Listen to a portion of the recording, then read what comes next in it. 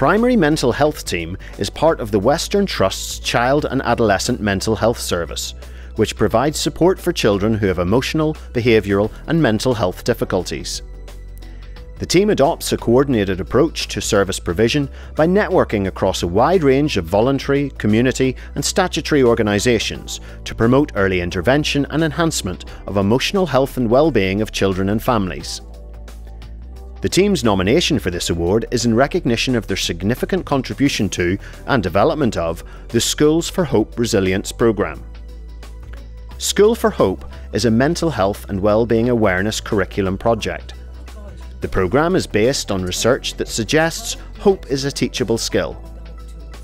It aims to equip children and young people, their educators and parents with the tools needed to find and maintain hope, even during the most trying of times.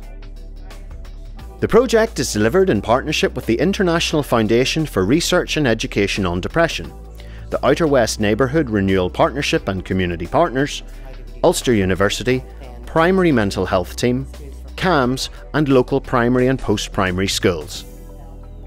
The success of this programme has been a testimony to real and transparent partnership working.